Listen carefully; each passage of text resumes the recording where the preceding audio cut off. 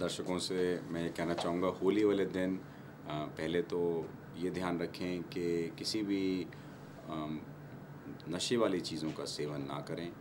Alcohol या फिर नशीली पदार्थ या फिर कोई ऐसा पदार्थ जिसके कि आपकी निगाह के सामने नहीं बनाया हो या आपके अपरिचित लोग आपको देने का कर रहे हैं, उसे अवॉइड करें।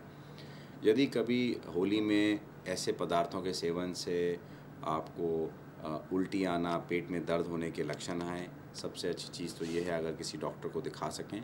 परंतु अगर ऐसा है तो आप उल्टी के लिए जो दवाइयाँ होती हैं वो ले सकते हैं। एक बड़ी सिंपल सी दवाई है जो मुँह में घुलने वाली दवाई है उसे हम ग्रैंडम एमडी कहते हैं वो दवाई लें।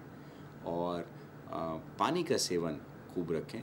तो इसके लिए इलेक्ट्रॉल पाउडर या ओआरएस पाउडर अपने घर में इंतज़ाम करके रखें ताकि शरीर में पानी की कमी ना हो। पेट में यदि क्रैम्प आते हैं उस दिन तो बस को पैन की गोली ले सकते हैं एंड उसके बाद आप स्पेशलिस्ट डॉक्टर फिजिशियन या हॉस्पिटल में जाके दिखा सकते हैं। होली का दिन ऐसा हो सकता है कि जिस दिन डॉक्टर्स की अवेलेबिलिटी या क्लिनिक्स बंद हों या केमिस्ट भी बंद हों तो मेरी ये गुजारिश है कि ये दवाइयाँ आप पहले से इंतज़ाम कर सकते हैं।